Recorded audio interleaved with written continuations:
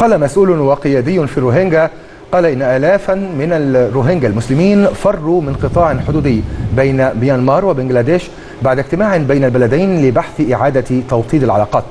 ومن جانبها عبرت المفوضية السامية للأمم المتحدة لشؤون اللاجئين عن قلقها من إعادة حوالي 5300 شخص بالمنطقة الحدودية قصرا دون اعتبار لسلامتهم.